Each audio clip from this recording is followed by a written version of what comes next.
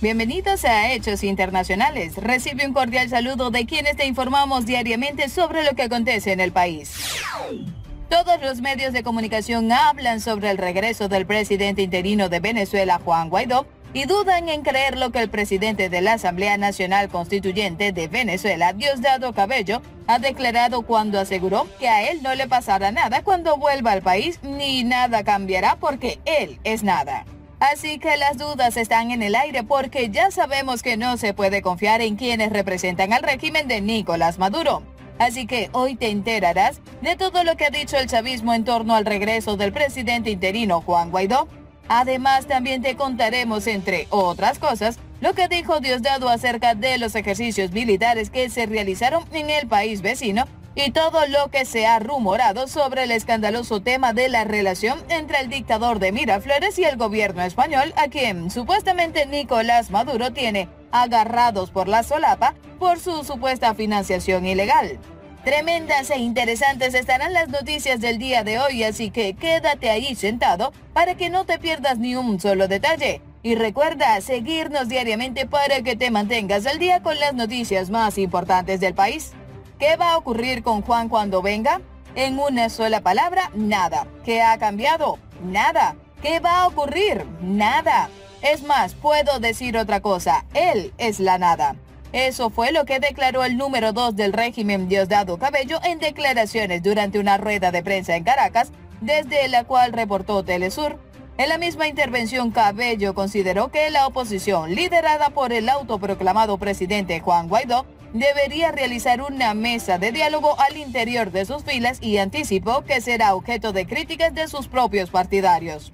Por otro lado, Cabello hizo alusión al destino desconocido del dinero ofrecido por Estados Unidos a la oposición y aseveró en este sentido que incluso Washington había advertido que Juan Guaidó se quedó con el dinero destinado a la supuesta ayuda humanitaria. Recordemos que el pasado 22 de enero el enviado especial de Washington para Venezuela, Elliot Abram, dijo a la agencia británica Reuters que Washington es consciente de la falta de transparencia en el financiamiento de la derecha venezolana. Otras de las cosas que mencionó Diosdado Cabello es que no le asustan los ejercicios militares de Colombia y Estados Unidos. Nosotros perdimos las capacidades de asustarnos, tomamos acciones, sí, pero estamos seguros que nosotros venceremos. No nos preocupa eso en verdad, son las amenazas que el imperialismo trata para fijar su agenda, dijo el chavista. El más odiado del régimen también aseguró que Nicolás Maduro está tranquilo luego de las maniobras del fin de semana realizadas en suelo colombiano, en las que participaron 270 soldados del país suramericano y 75 paracaidistas estadounidenses.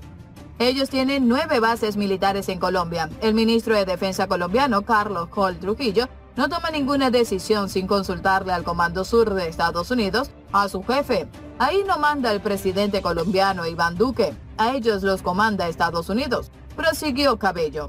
Venezuela tiene previstos unos ejercicios militares.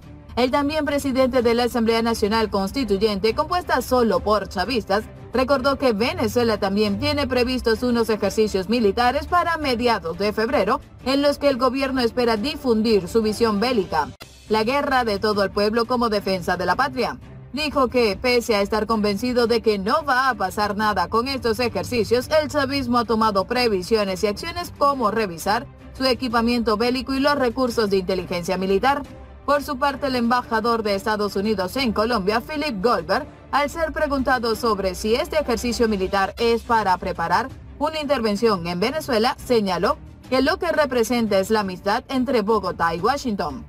El ejercicio fue realizado una semana después de que Estados Unidos y sus principales aliados en América se comprometieron en Bogotá a reforzar su lucha contra el terrorismo y alertaron de la presencia de células de Hezbollah en Venezuela, así como del refugio del régimen de Nicolás Maduro a grupos dotados ilegales colombianos. Por otra parte, y luego de la gira del presidente interino de Venezuela, se auguran resultados positivos para la oposición. Esta gira realizada por algunos países de la región y del continente europeo en busca de ayuda para generar una transición de gobierno en la nación sudamericana promete traer resultados positivos para este año. Pese a que el gobierno de Nicolás Maduro le ha restado importancia al recorrido del presidente interino, la legisladora opositora Amelia Belisario afirmó que el periplo traerá como consecuencia un mayor empuje de países y organismos para que Nicolás Maduro acepte una negociación.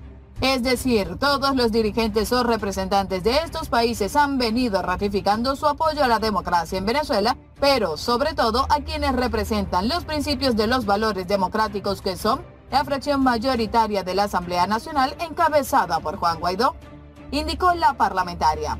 Mientras algunos ciudadanos consultados por La Voz de América respaldan la gira internacional del presidente interino, otros aseguran que debería ser encarcelado. Él es el representante actual de la política venezolana a nivel mundial porque el presidente que actualmente tenemos no nos representa.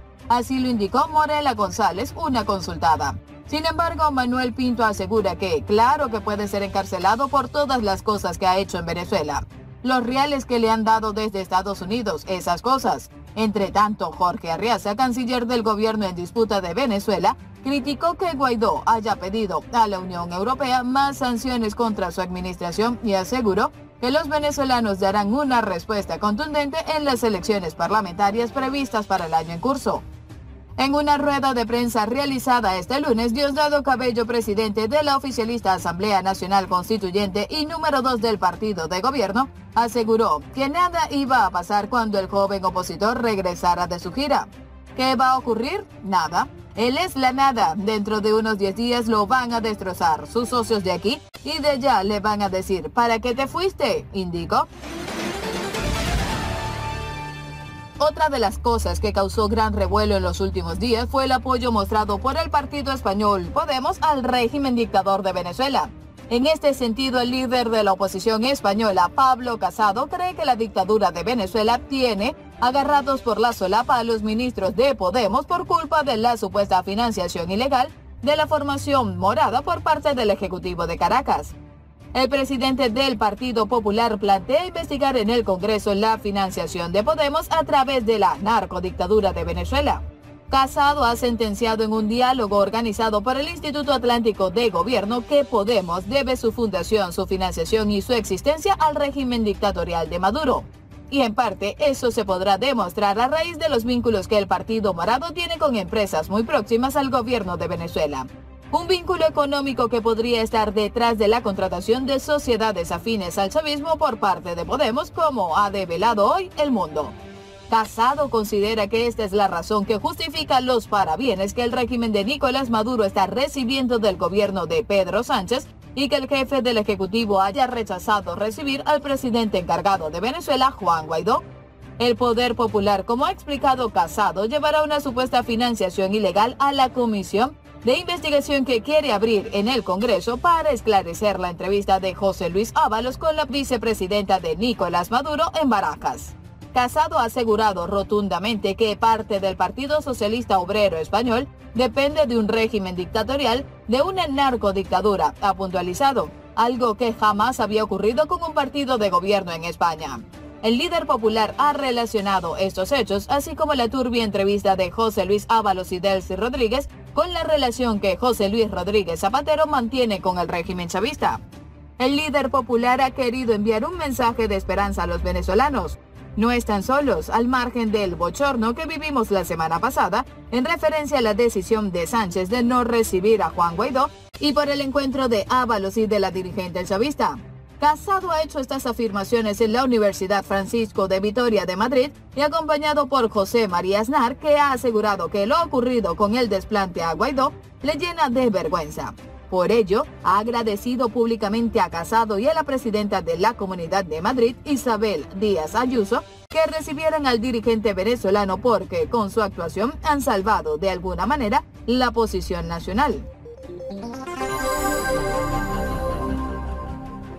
Aznar ha calificado como increíble que el Ministerio de Asuntos Exteriores haya decidido suprimir la Secretaría de Estado para Latinoamérica y sustituirla por una dirección general.